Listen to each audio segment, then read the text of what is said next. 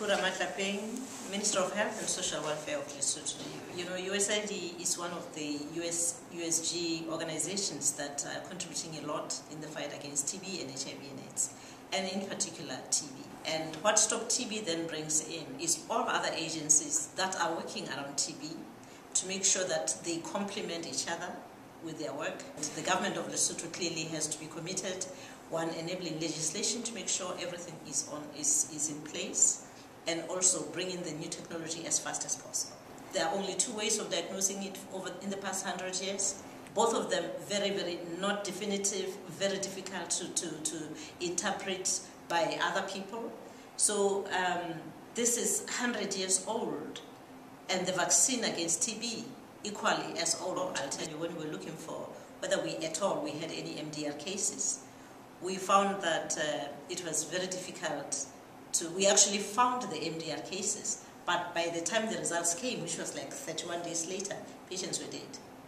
So now with the new technology, line probe assay, now the GeneXpert, within days, within a day, that will be GeneXpert, patient can actually wait for two hours and get the results. That's a great deal.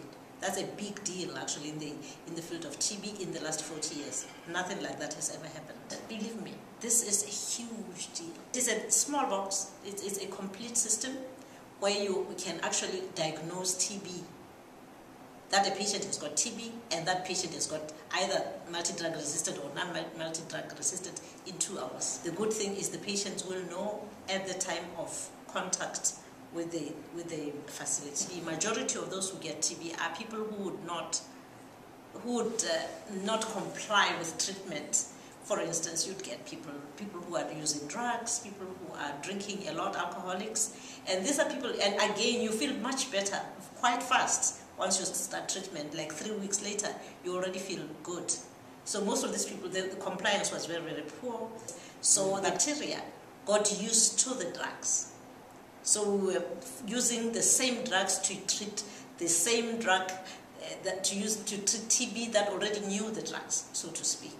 So in, in the end, they, you, they, it rendered treatment completely useless. But the commitment to the government from, the gov from us as Lesotho government is huge because we want to see each and every patient who has TB treated and completing treatment. What we have done is to treat a patient who's, who has TB as though they also have HIV. Wherever, whenever you walk through that door and we, we realize that you have TB, we are looking for HIV. Those who have HIV, we are looking for TB in them.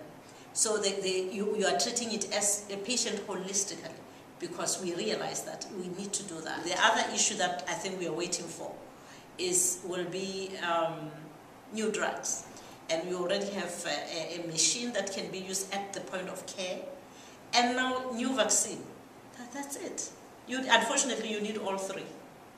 New drugs, new vaccine, and technology for diagnosis that is accessible, that is used at the point of care.